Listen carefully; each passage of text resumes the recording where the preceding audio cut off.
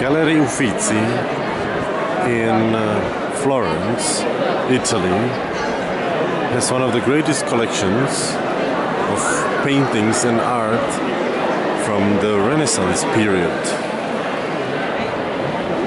Unfortunately, everyone who comes to Florence wants to see this collection. So the long queue doesn't start in front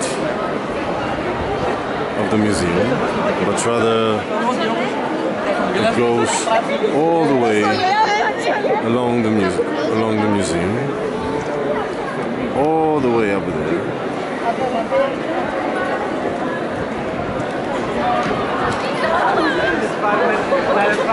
All the way up to here. And now we're gonna see where Ira is standing.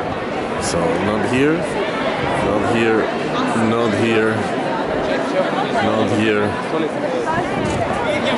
Wow, there's a lady half naked and it's very cold. Okay, so not here, not here, not here, not here. Not here. Wow, there's some progress. Not here. Not here. Not here. Ah, there she is. Ira, standing in the longest queue in the world. Okay, so how long do you think it will take? You've been waiting for 20 minutes, maybe? So you've been waiting for what, 20 minutes? And you moved maybe 30 meters?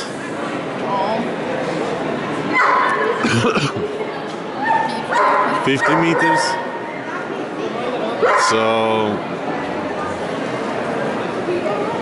So. It is the best, longest galleries in the world. It's Okay. worth it. It's worth it. So. You're willing to wait? Are you willing to wait?